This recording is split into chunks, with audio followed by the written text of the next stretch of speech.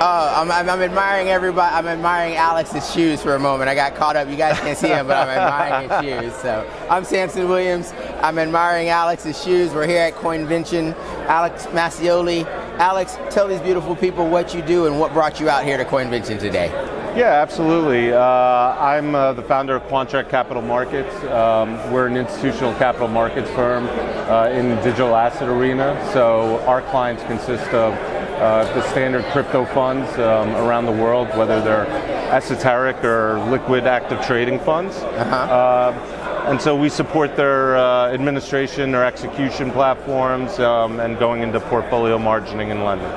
Awesome, awesome. So I just want to, for those of folks who might be new to the concept of capital markets, uh, we always like to engage those humans and those customers who are new to the space. Sure. Just give us a little color around what is capital markets and what do you guys, what does capital markets do? Sure, absolutely. So um, on the capital market side, basically it's uh, um, the private fund sector of Wall Street. So it's where you have active money managers and asset managers, whether they're uh, investing money on behalf of institutions or high net worth individuals and family offices. Uh, the capital markets are uh, the arena um, that they participate in to generate returns. And to equate it, it would be the equivalent of a, of a traditional hedge fund, uh, the New York Stock Exchange, NASDAQ, college endowments, and so forth. Excellent, excellent. We love the fact that we get new people into the space, and it's like, oh, yes, we need to actually one, describe what our business is and try not to use the acronym. So if you see me using acronyms, say, Samson, stop that, stop that. So tell us in the space, what are money managers, how do money managers feel about crypto? Yeah, so I mean, for money managers and traditional side, it's it's a relatively uh, new form of asset to them. Uh, so a lot of people at this conference here, they've been dealing with it for quite some time now. Um, but I think uh, for asset managers, it took the last two, three years to get their head around the space, around the asset class. Um, so now they're uh, try, they're just starting to institute it into portfolios for individuals as they do see it as a, a recognized investment, whether it be a store of value or whether it be a tradable instrument. Uh-huh. Um, and I think that's the exciting part for them is being able to add this new tool uh, into their toolbox to, to be able to invest and generate alpha with. So, hypothetical, completely hypothetical. Let's say I'm TIAA-CREF Yep. I'm the pension fund of California the, for the teachers union, perhaps, and I come to you. What are you telling me?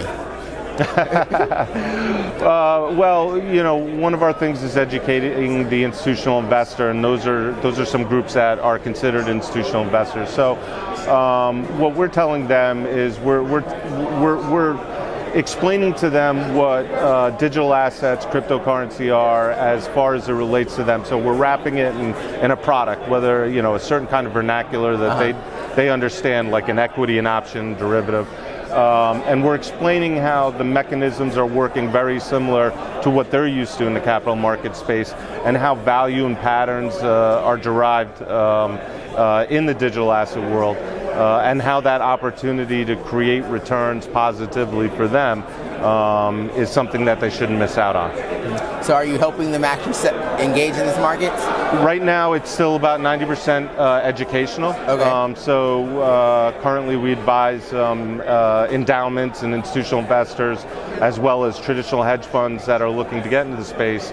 Um, but and I, I, I, foresee it being 90% educational for you know the next year, um, and then as more people get to understand it, they'll slowly come around to uh, instilling that. Just like these these gentlemen and ladies here who've been in it for so many years and, and have it all geared up.